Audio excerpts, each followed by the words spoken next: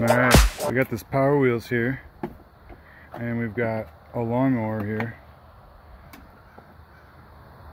I think we're gonna put the two of them together. Oh yeah, flash those lights. Look at those lights in there. Yeah.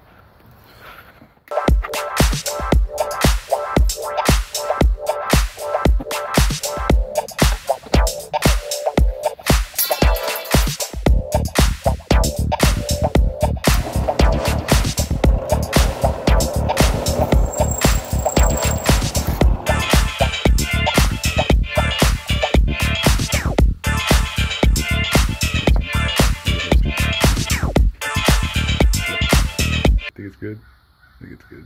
Probably let go of that before it explodes. Yeah, we made It's it. not connected to any power. No, I mean the lighter. Careful, it's gonna be really hot too. Yeah, it's not, but we made a pretty cool dual battery um, parallel wire harness, right? Sure. sure. What's the difference between running series and running parallel? Series, it's like um here, here, here, here, here, and then back. All right. Parallel, So it runs like a circuit, a series circuit. yeah, it's like a circle. What one was? What's parallel? Parallel is when you have um, the individual ones go, go into this into an individual connector, which makes it last longer Why? because well, there's two, and then but they would release the same amount of energy as one, so Oh, okay.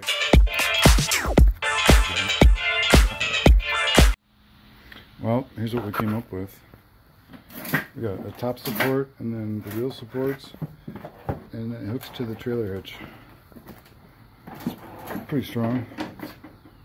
Ish. What do you think? How do you feel about it, Charlie? I think it's strong now. Yeah, see? We got it's approved. We're good.